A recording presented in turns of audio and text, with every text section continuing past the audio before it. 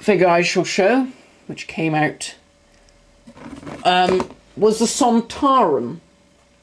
Now, the Sontarans were one of my favourite monsters, and they released two Sontarans. A normal Sontaran, which I never got, and a Sontaran Captain, which we have here.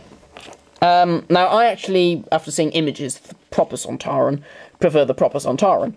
But this, and I, but I could never find it again afterwards. But the Sontaran Captain, um, which is in some form of outfit that never actually appeared on screen, It was just a repaint. But it was a clever idea just to have that sort of to show that there was different rankings in the Sontaran army. Clever way of doing it. Unfortunately, it's sort of based on the two doctors in terms of height, because it's really tall, as opposed to being short. The sculpt is really nice. The captured the look of the, the suits, the armour, pretty well. You've got the little belt with the little device on there, and the, the knee pads have been sculpted onto the top of the boots. And the gloves and things are really good, and you can see they've got the elbow pads as well.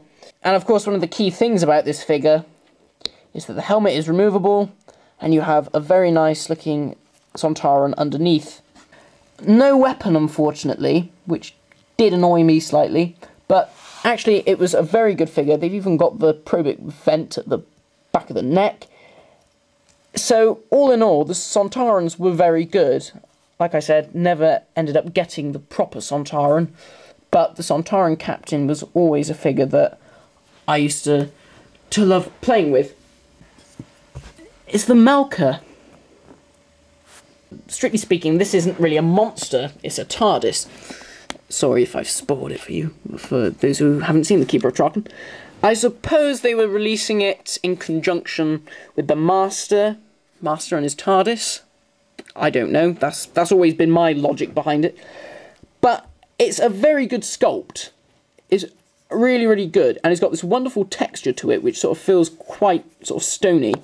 And it's just, just one colour, it's just a tan colour, but then they've sort of put a speckled, they've sort of speckled over the top of it to give it this stony quality. You may not see it very well on camera, but in the flesh it's excellent. And they've painted the eyes red, like his eyes glowing red when he would sort of come alive and move around the groves of Traken and shoot people. So an interesting release, but a very good one. The sculpt is, like I said, is fantastic. The last monster to be released was the early Cyberman. This came out uh, in 2001, the same time as the Staction figure of Pat Troughton. Again, like I said, no articulation. Now, this figure was excellent. I loved it. Even though you couldn't move the, the bugger's limbs, it was actually very good, and it was a sign of good things to come in a way. Although we lost the articulation, which I remember being very annoyed about, it looked great.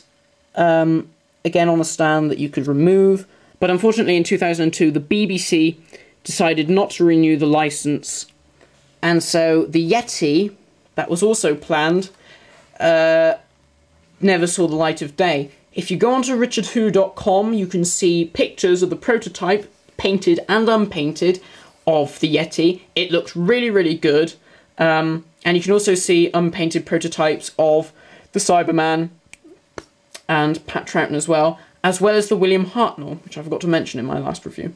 So thanks for watching this review, guys. That is the monsters of the Dapol range, and in my next review, I shall be looking at Davros and the Daleks, because it's such a big topic. So, thanks for watching guys, and I shall see you then.